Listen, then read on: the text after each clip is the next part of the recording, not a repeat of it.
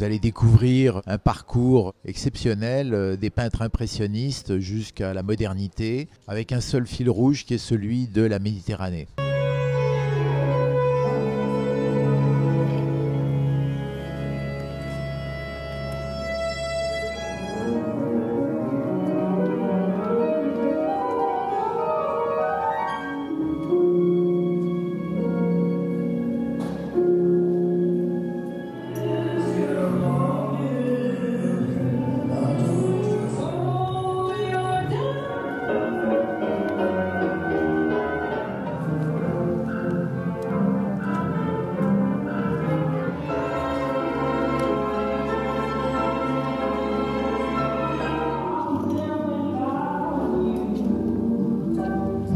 C'est l'histoire de ces artistes euh, impressionnistes d'abord qui, après avoir peint euh, en région parisienne ou en Normandie avec euh, des ciels nuageux, vont découvrir la lumière de la Méditerranée, le bleu du ciel, le bleu de la mer, la couleur ocre des façades des villages.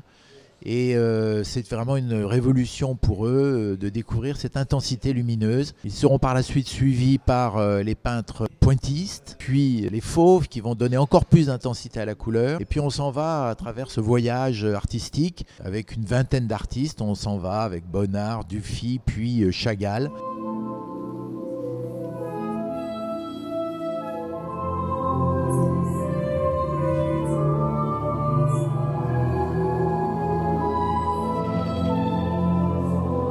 La deuxième exposition qui est plus courte est consacrée à Yves Klein.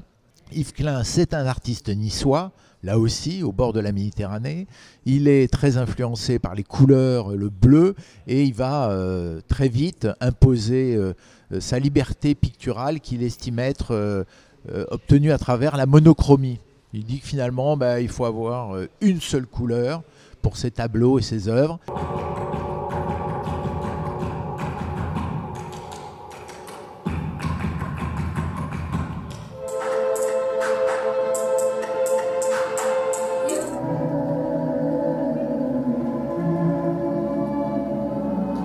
Alors en fait, cette exposition, c'est la suite un petit peu de, Van Gogh, car Van Gogh est le premier euh, de ces peintres de cette génération à descendre dans le Midi, à aller s'installer à, Saint-Rémy-de-Provence, à Arles, et à commencer à peindre avec des couleurs pures, très intenses.